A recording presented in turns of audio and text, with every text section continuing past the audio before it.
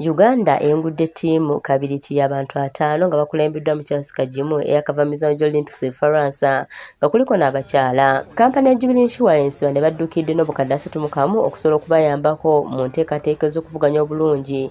Mu mpaka zino kw'ossa n'ebyetaagisa ebirala empaka zituumiddwa grand nairobi bicycle race nga bagenda kutolontokera mu bitundu bya kasarani n'emiraano nga sebutemba 29 mu kibuga nairobi ekya kenya nga guno mulundi gwakusatu nga uganda yeetaba mu mpaka zino kano ketuwaddeyo kakuyamba abavuzi baffe okulaba nti bali bulungi bo nga bo. Obulamu bwabwe buli mu mbeera nnungi amagaali gali mu mbeera nnungi tetwagala kintu kyonna ekibalemesa opportunity gyetuwa. Kwe kuba nti tusobola okutwala abavuzi b'eggaali abawano ne bafuna obumanyirivu mu kureesinga ku world stage.